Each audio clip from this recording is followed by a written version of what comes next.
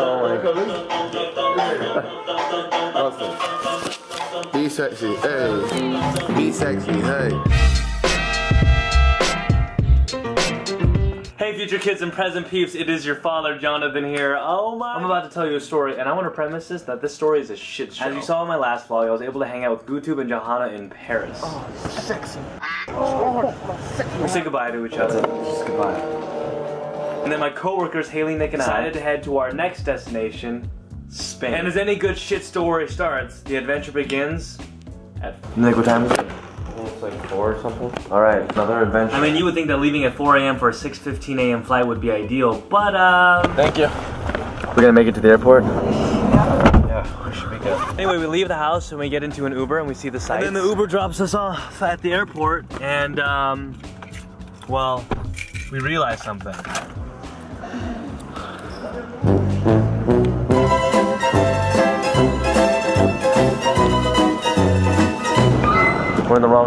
At the wrong terminal. The terminal that we were supposed to go to was 0.5 miles away. We tried the tram. Next tram's in five minutes. Oh no. Is operating yet? No. We tried getting on a taxi. No one wanted to take us. No. So you know what we did instead? We walked on the highway. We think we know where we're going? That's it. Or not. I'll tell you when. Go, go, go, go, go. Make something very, very, very, very, very clear at the moment, okay? Haley is our navigator, okay? Nick and I, we're just the luggage carriers. Wow. Finally, out of all the commotion, we finally get there. But then we realize something. Security's packed. I don't know if we're gonna make it. Thanks, have a nice day. And so then this is what happened. We have like five minutes. No, what's happening over here? Head to the counter. And the guy's like the slowest guy checking in our bags. Like what the hell? And the reason why is because Haley, I love her so much, but Haley forgot when she booked the flights to tell the airline that we're checking in baggage. He had to write down each bag number.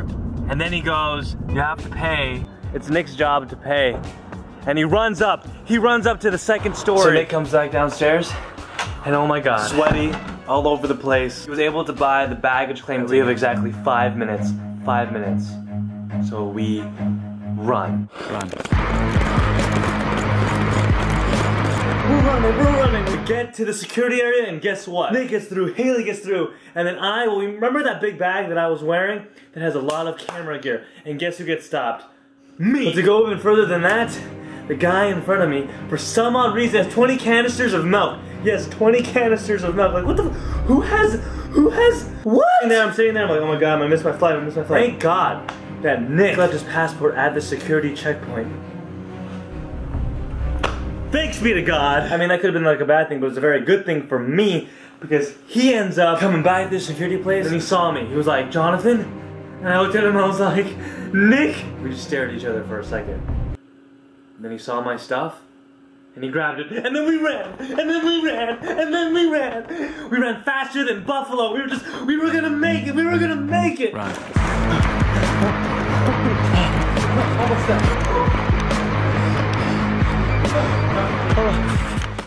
Passeport. Il y a des bagages qui sont inactifs. Sorry. On n'a pas nettoyé le vol. I could not believe that we made it. We made it to Spain.